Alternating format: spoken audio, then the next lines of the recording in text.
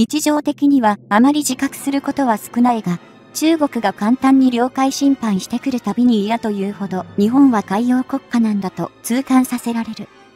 だからこそ、領海の防衛を優先的に考えるのは当然のことであり、海は海上だけではなく、海中、海底も含めるということから、その部分の守りで密かに活躍する黒潮が今日の主役である。それでは一緒に見ていきましょう。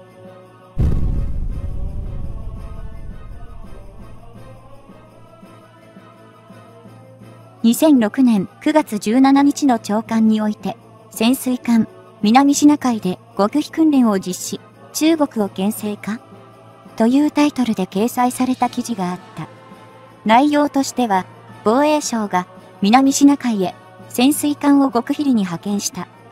東南アジア周辺を長期間航海中の護衛艦部隊と合流し、9月13日に対潜水艦船を想定した訓練を行ったと政府関係者が複数発言している。だが、その目的を別のものにすり替えているという記事である。さらに、その記事では、公開の航行の自由を強くアピールするための行動とあるが、そもそも潜水艦の存在を知られてはいけないものだ。これは探知されることを避けて行動するのが義務と言っても過言ではない。でも、発見されないように行動していたら、アピール行動にはならないため、わざと漏らした情報なのでしょう。要するに新聞で公表した理由は、真実の目的をごまかすためということだね。果たして、黒潮の隠密行動の真実の目的とは、一体何かわかるかな？それは、中国海軍力の分散消耗というのが答えだよ。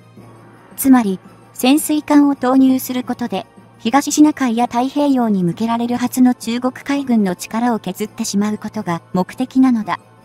日本の潜水艦は、収益して、はじめに、南シナ海海南島の中国戦略原子力潜水艦に対応するわけだが、この潜水艦には核ミサイルが搭載されている。日本の海上自衛隊は、平時や有事を問わず、中国の源泉に圧力をかけているため、奴らは海軍力を分散しなければならなくなる。中国の立場なら、戦略原子力潜水艦は最優先で守るべき対象であり、アメリカ、ロシア、そしてインドにも核の抑止をさせようと必死で、各国からの先制核攻撃を防ぐために、防衛戦力整備に高額経費を注ぎ込んでいるところだ。戦略原子力潜水艦は、中国の国家安全保障の基準で最重要戦力になると同時に最優先保護対象ともなるわけだが、そんな虎の子の源泉の行動海域に日本の潜水艦が出現したらどうなるでしょうか？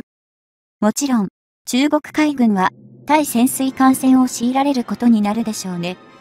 おそらく、戦術的には海南島周辺に艦隊を集中させて自国の戦略源泉を防護しつつ、それと同時に、日本の潜水艦を撃破しようと躍起になるはずだ。その結果、日本の正面に中国が差し向ける海軍力が減ることにつながり、紛争の要因となる尖閣諸島や先島諸島、太平洋方面に投入される中国艦隊戦力が減少することは間違いない。黒潮潜水艦が南シナ海を先行している事実こそ、中国が対日戦を避ける一つの原因にもなるというわけだ。日本が潜水艦を投入している本当の理由は、ゲール・デ・クルース巡洋艦戦略と呼ばれている分散共用戦略だと言われており、その期待できる効果としては、中国戦略源泉の不安全化と反応を見ることだろう。実は、アメリカ海軍も日本と同様に中国海軍の力を分散させようと考えており、国際問題にもなっている南シナ海で中国戦略源泉に脅威を与え、海軍力を消耗させようとしているのだ。日本の潜水艦活動はアメリカをモデルにしたものであり、その目的も同じであると判断して差し支えないだろう。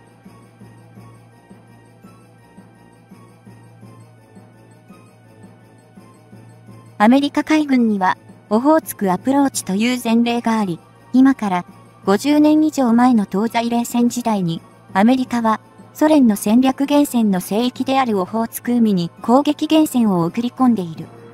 ここで言う聖域とは、敵の侵入が極めて困難な味方の安全が強固に保たれた領域のことを指し、そこの安全は戦力で確保されるだけでなく、地形や政治的な制約で味方が守られて、国の聖域が生じるとも言われている。そんな旧ソ連の聖域に圧力をかけたアメリカが大成功を収め、何度も太平洋への進出を企てたソビエト艦隊の出っ鼻をくじき、これによって太平洋へ展開しようとする攻撃源泉の数が格段に減ったらしい。そして、現在、このオホーツクアプローチと同じ行動をアメリカは南シナ海で中国海軍に対して行っているというわけだ。対する中国は南沙諸島を含む周辺海域を戦略源泉の聖域化に注力しているが、あまりにも露骨で、ここが大事な場所と公言しているようなものだ。アメリカ海軍は音響観測艦や哨戒機、そして攻撃源泉まで送り込んだ結果、予想通りといえば予想通りだが、アメリカと中国の衝突も起きていた。それは、2009年に中国側が音響観測艦インペカブルへの妨害行動を起こした時であり、さすがの中国海軍も、喉元まで近づいたアメリカ海軍を黙って見過ごすことはできなかったのでしょう。前としたように、日本が潜水艦を運用する目的も、アメリカと同じ効果を狙っているものと推測されるが、今の世界情勢において、中国と正面から対立することは厳しくもあり、不利とも言えるでしょう。やはり正面対決に発展させず、相手に退いてもらうのが一番の得策なので、黒潮潜水艦の行動は、日本の従来の方針であり、かつ、専守防衛から一歩踏み出したと言ってもいいでしょうね。本気の戦争にならないように、アメリカを手本にして、強制的に中国の軍事力を分散させようとしており、これがうまくいけばいいのだが、簡単にはいかないのが中国なのだ。将来的にはおそらく、巡航ミサイルや軽空母なども海南島を目指すことになり、現在は、すべてが検討中の兵器であるため、日本は、あくまでも離島防衛用であると公表している。どう見ても、本質的にはオーバースペックな武器であることからも、離島防衛は口実だろうと言われても仕方がありません。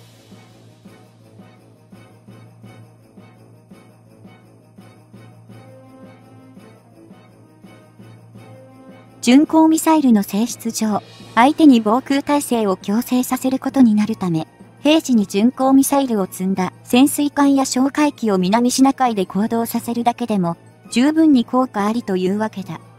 当然それだけで、中国が危機感を抱いて防衛体制強化に走ることになるからね。要するに、日本が戦略源泉を攻撃しようとしているというフェイントをかけるだけでも、中国は海空防衛戦力を分散せざるを得ないというわけだ。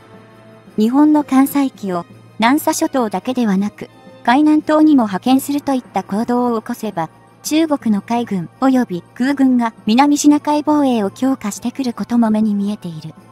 それと同時に、フィリピン東方の海上哨戒活動も始められるでしょうね。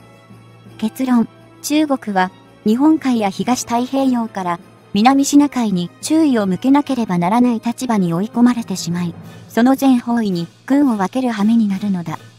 中国はアメリカへの対抗意識も持っていて、もともと太平洋への進出を狙って活動してきたのだが、日本や台湾などの海上活動に邪魔されて、東シナ海へ進出するのも結構厳しい状態だと考えられる。しかし、経済的にも軍事大国である中国が、次にどういうアクションを起こすのか、開目見当がつかないといったところだ。2011年に、電車の衝突脱線事故が起きたが、その事故車両を乗車員もろとも埋めて隠蔽したことにも世界中が仰天した。このように予測不可能な行動をとるのが、まさに中国たるゆえんとも言える。そんな不可思議な中国に対峙しなければならない日本の防衛力とは、果たして何なのかと悩んでしまうが、決して我々のような一般の国民には見えない場所でひっそりと任務を果たしている忍者のような潜水艦に対しては乗員も含めて敬服するばかりだよ。